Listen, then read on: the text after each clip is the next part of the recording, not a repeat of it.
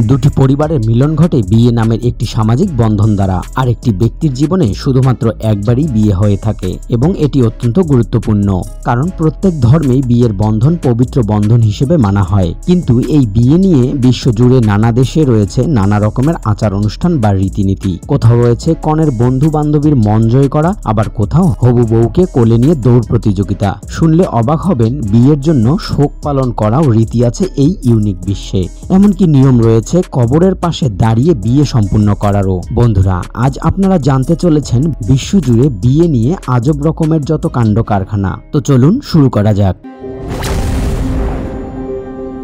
Number বারো, রাশিয়ার মানুষদের বিশ্বাস দেশের জন্য প্রাণ দিয়েছেন যে সৈনিক তার কবরের সামনে দাঁড়িয়ে বিয়ে করলে নাকি দাম্পত্য পোক্ত হয় এবং কোন রুশ সেনার কবরস্থানে বিয়ে করতে পারাটা সেখানকার মানুষের জন্য সম্মানের। তাই বিয়ের কথাবার্তা চলার সময় থেকেই সেনাদের কবরস্থান বুক করে রাখেন রুশ নাগরিকরা, যাতে নির্দিষ্ট দিনে জায়গা ফাঁকা পেতে কোনো ধরনের অসুবিধা না হয়। ভাবা যায় বিষয়টা? নাম্বার এগারো, কেনিয়াতে বসবাসরত মাসাই উপজাতির মধ্যে বিয়ে নিয়ে একটি খুব বাজে রকমের প্রথা প্রচলিত রয়েছে। তাদের বিবাহ অনুষ্ঠান শেষে কনের মাথায় থুতু ছেটানোর মাধ্যমে কনের বাবা তার কন্যার কাছে যায় এবং মেয়ের মাথা ও বুকে থুতু ছিটিয়ে দেয়। তাদের ধারণা এর দ্বারা মেয়ের সাথে বাবার সমস্ত বন্ধন সেদিন থেকে মুছে ফেলল এবং বাবা প্রাণ ভরে আশীর্বাদ করছেন। নতুন জীবনের সূচনা হলো সেদিন থেকেই। এরপর কনে পাত্রের হাত ধরে সোজাসুজি শ্বশুরবাড়ির দিকে পা বাড়ায়। এখানে বলে রাখি, কেনিয়াতে থুথু দেওয়াটাকে ততটাই প্রাধান্য দেওয়া হয় যতটা আমাদের দেশে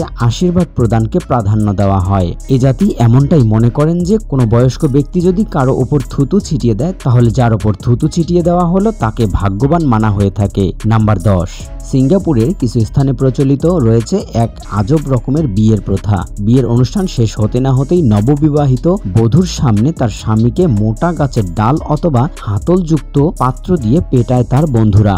যদিও এটি আসলে মজা করার জন্য হয়, কিন্তু এখন এটি তাদের সমাজের বিয়ের রীতি হয়ে দাঁড়িয়েছে। পাত্রের সকল বন্ধুরা মিলে পাত্রকে ধরে মাটির ওপর ফেলে দিয়ে পাত্রের পা থেকে জুতা খুলে নিয়ে পায়ের তলা থেকে শুরু হয় প্রহার করা। পাত্র যতই জোরে চিৎকার করতে থাকে, ততই জোরে প্রহার করতে থাকে। নাম্বার নয়, এবার শুনুন বিয়ের আর এক অদ্ভুত নিয়ম।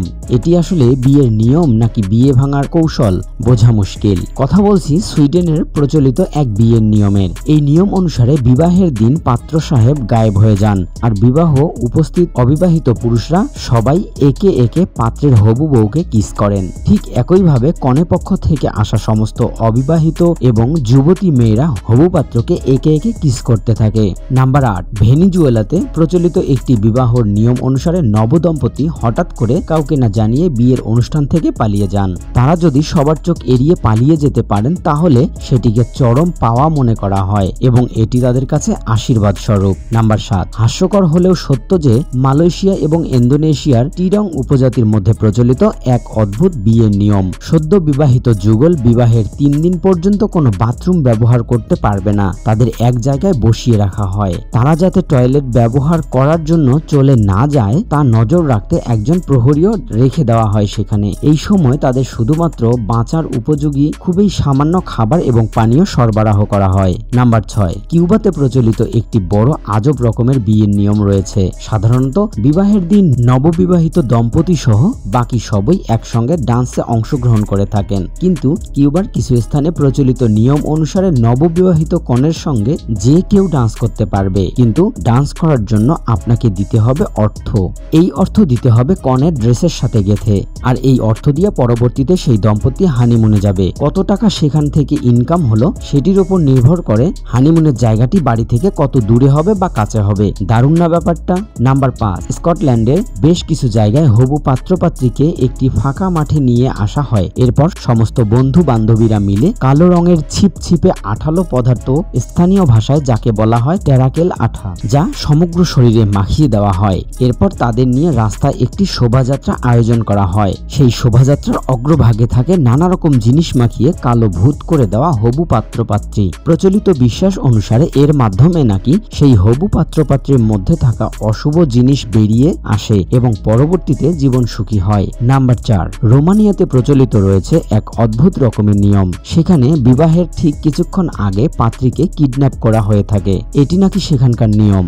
পাত্রীর বন্ধু বান্ধবী ও আত্মীয়রা এই কিডন্যাপ করে থাকে। আর পাত্রীর মুক্তিপণ হিসেবে ধার্য করা হয় বিপুল পরিমাণ টাকা। সেই টাকা যদি পাত্রপক্ষ দিতে পারে, তবে পাত্রীকে ফিরিয়ে দেওয়া হয়। নাম্বার তিন, বিবাহের উৎসব সাধারণত আনন্দের উৎসব। কিন্তু চীনের উপজাতিদের কাছে বিবাহের উৎসব মোটেও আনন্দের বা উৎসবের নয়। তাদের কাছে বিবাহ হলো একটি অত্যন্ত দুঃখদায়ক বিষয়। কান্নার মাধ্যমেই তাদের বিবাহ প্রস্তুতি শুরু করতে হবে। আসন্ন বিবাহের কথা মাথায় রেখে এক মাস আগে থেকেই এই তুজিয়া পরিবারের কনেকে প্রতিদিন অন্তত এক ঘণ্টা করে কাঁদতে হবে। এতে নাকি তাদের পরিবার পরিজনদের ছেড়ে যাওয়ার দুঃখ কমে যায়। নাম্বার দুই, আমাদের দেশের এই নিয়মটা সবাই জানেন। বিয়ে করতে আসা পাত্রের জুতা কনের বোন লুকিয়ে রেখে দেয় এবং জুতো ফিরিয়ে দেওয়ার বিনিময়ে মোটা অঙ্কের টাকা চেয়ে বসে। পাত্র সাহেব বাধ্য হয়ে কনের বোনের চাওয়া মিটিয়ে দিয়ে তবেই তার জুতো জোড়াকে ফিরিয়ে নেন। নাম্বার এক এক সময় ভারতের জ্যোতির্বিদ্যার প্রভুত্ব প্রচলন ছিল। আর জ্যোতির্বিদ্যার চর্চার অন্যতম কেন্দ্রবিন্দু ছিল গ্রহ এবং তাদের অবস্থান। যদি কোনো মেয়ের জন্ম মঙ্গল বা শনি গ্রহের সপ্তম অক্ষে অবস্থানকালে হয়, তাহলে সেই মেয়েটি নাকি অভিশপ্ত। আর এই অভিশপ্ত তা কাটিয়ে না উঠতে পারলে বিয়ের পর সে তাড়াতাড়ি বিধবা হবে। এই অভিশাপ থেকে মুক্তি পাওয়ার একটি উপায় বের করেছে তারা। এর উপায় হিসেবে সেই মেয়েটিকে যখন বিবাহ উপযুক্ত হবে, আবার অনেকের মতে ছোটবেলাতেই তাকে প্রথমে একটি সুস্থ গাছের সঙ্গে বিবাহ দিতে হবে। গাছের সঙ্গে বিবাহের কিছুদিন পর সেই গাছটিকে কেটে ফেলতে হবে। এতে নাকি সেই মেয়েটির দোষ কেটে যায় বা অভিশপ্ত জীবন থেকে সে মুক্তি পায়। বন্ধুরা, আজব রকমের এই সব বিয়ের রীতিনীতির কোনটি আপনার কাছে সবচেয়ে মজার মনে হয়েছে তা কমেন্ট বক্সে জানাবেন। প্রতিনিয়ত এরকম আজব রোমাঞ্চকর, তথ্যপূর্ণ ভিডিও পেতে আমাদের চ্যানেলটিকে সাবস্ক্রাইব করে পাশে থাকবেন। সকলে ভালো থাকবেন সুস্থ থাকবেন। এতক্ষণ সাথে থাকার জন্য অসংখ্য ধন্যবাদ।